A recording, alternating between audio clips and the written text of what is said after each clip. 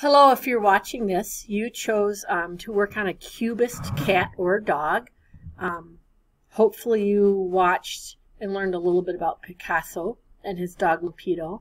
Um, but more importantly, that Picasso was really famous for inventing Cubism. He's known as the father of Cubism.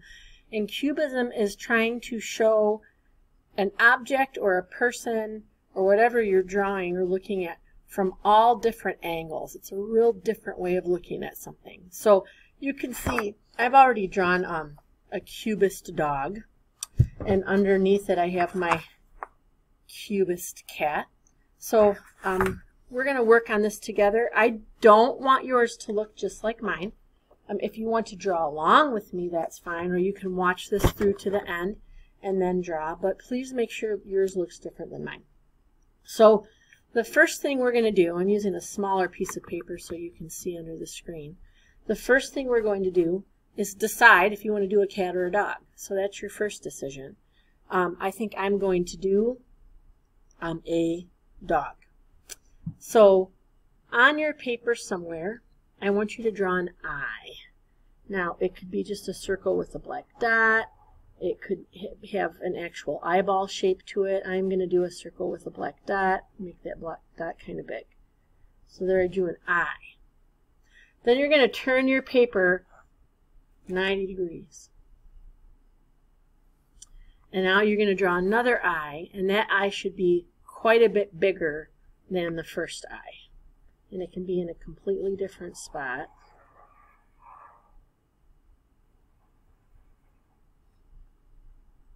Then you're going to turn your paper again.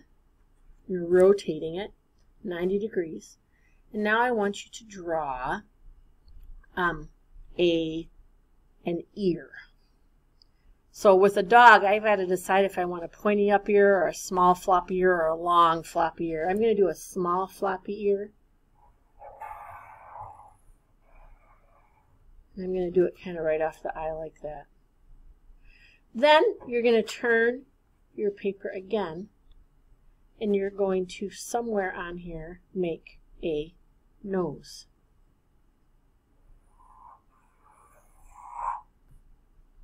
And I can even, even go like that.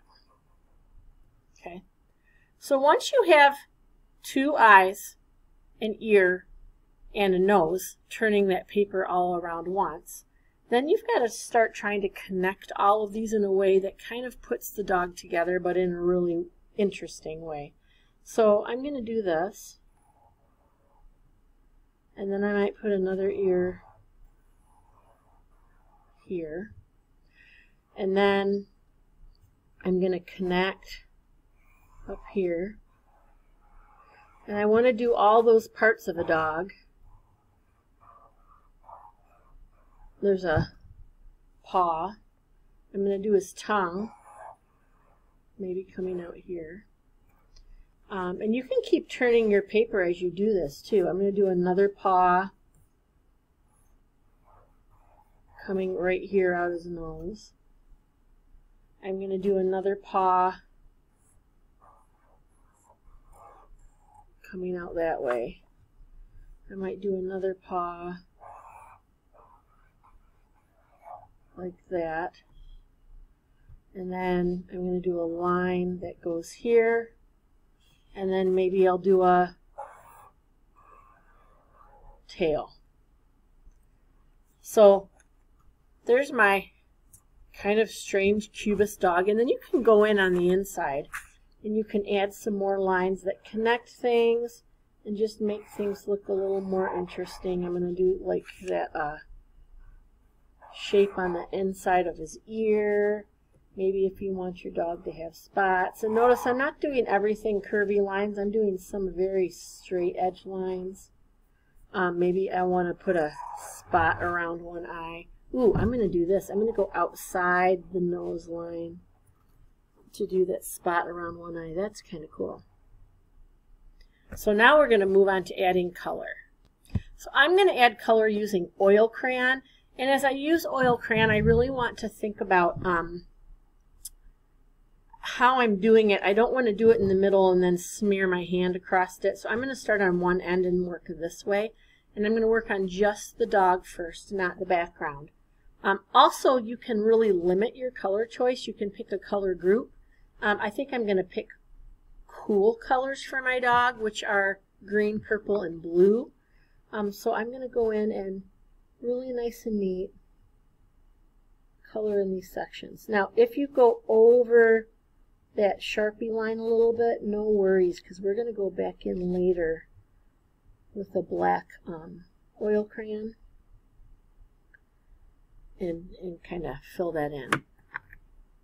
If you want something white, you just leave it white. And I'm pressing kind of hard to fill in.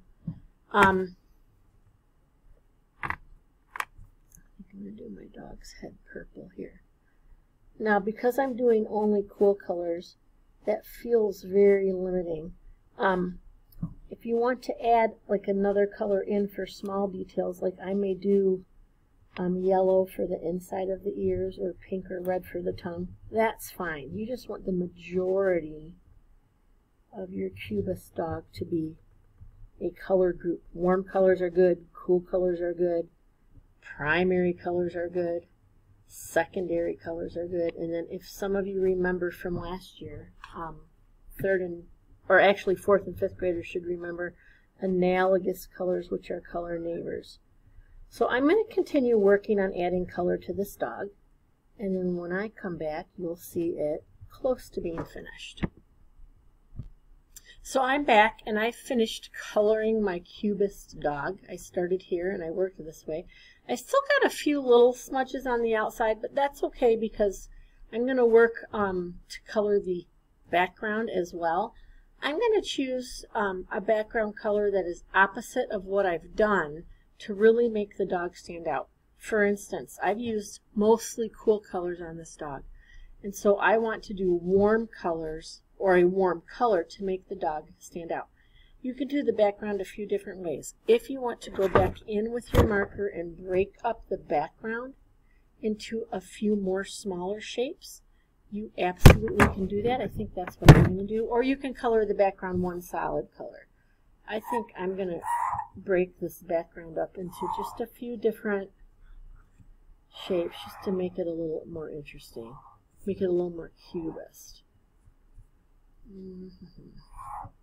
Okay, that looks good to me.